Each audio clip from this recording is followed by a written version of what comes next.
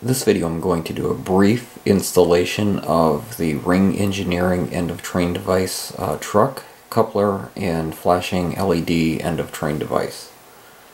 So I'm just going to go ahead and talk while I open this up. So, did a video earlier this week where I added a sound, Tsunami sound card, decoder, and speaker to one of my rolling stock. In the era of my layout, cabooses were still pretty prominent, but it did coincide with the rise in the use of end-of-train devices that essentially ended the um, widespread use of caboose, cabooses at the back of trains. So I wanted the ability, even though I still use cabooses on my layout, I wanted to have the ability to have an end-of-train device uh, to go and just sort of model the transition between cabooses to um, non-caboose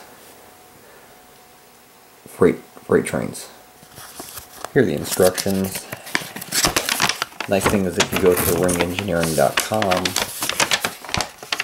it actually lists all of the instructions in a PDF online, so you can view these online.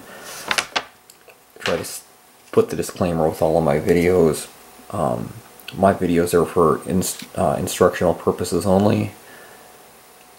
They do not substitute for um, reading and following the manufacturer's instructions. Okay, so this is all an all in uh, all inclusive truck set.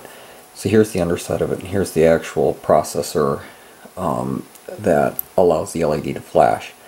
You can see there's no screw opening on this side and there is on this side. So to install this, I actually have to take the wheels off of the actual truck, install it, and then reinstall the truck. So let's go ahead and do that.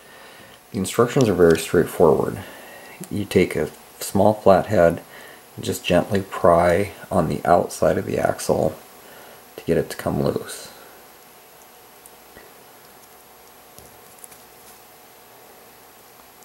Okay, there's one. Get this one.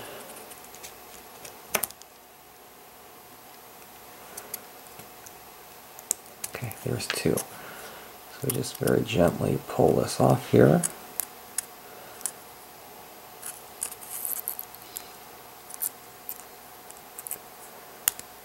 There we go. Like I said, just being very, very gentle, very careful with it. So now we'll take and get the covered hopper over here that I'm going to install this on. So here is the covered hopper I'm going to install this on. So first thing I'm going to start taking the truck off. I'm going to save the screw.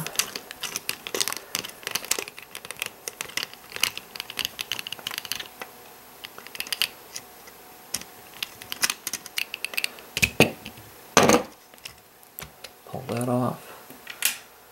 Now I have to get the coupler out of here, so I'm just going to gently pry this so the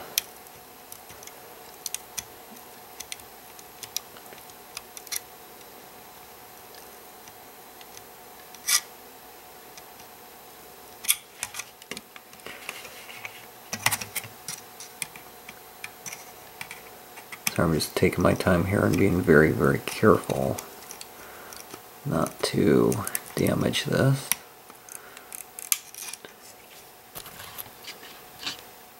There we go.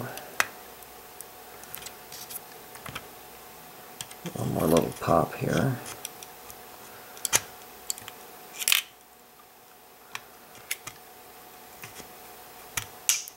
There we go. It's in there quite solid. Okay, so now I have the coupler actually fell out. And the nice thing is with this end of train device, it actually has a self-centering spring, so you can take uh, the spring part out, so I've taken that out. Now I just have my coupler exposed here, so let's go ahead and get this thing mounted. Okay, so now I'm going to set the coupler. I'm making use of some of the packaging here because I need to put the coupler in before I can mount the truck.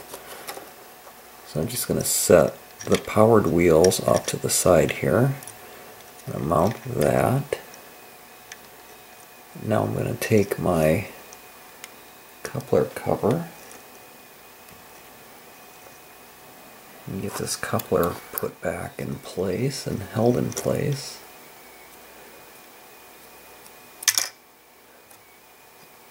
Sorry, this is real difficult with a video camera in front of you.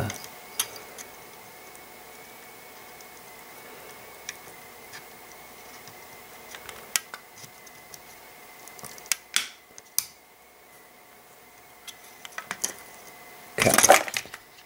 Okay, so that's securely in place. Here's the coupler with the end of train device on it. So now I'm going to take the frame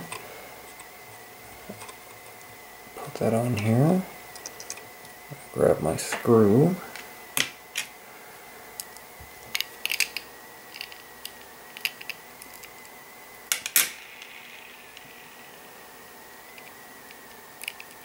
Have to love magnetized screwdrivers. Put this in. and I'm going to test it since once I put the trucks on, the wheels on,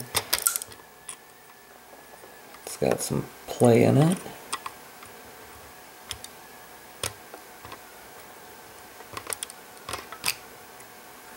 Okay.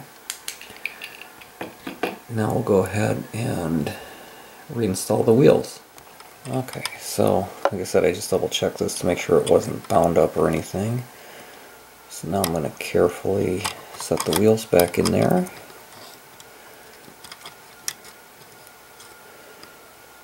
And then again we're just going to gently like we did when we took the wheels out of the frame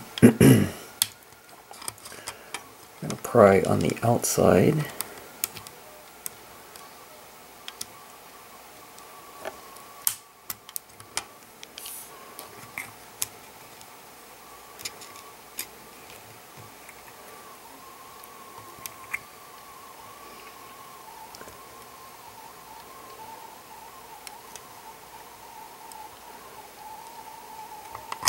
There we go. I'm just going to double check, to make sure this is the wheels are free spinning. They are. The coupler's free spinning. Alright, there we go. It is installed. Let's go to the layout and check this thing out.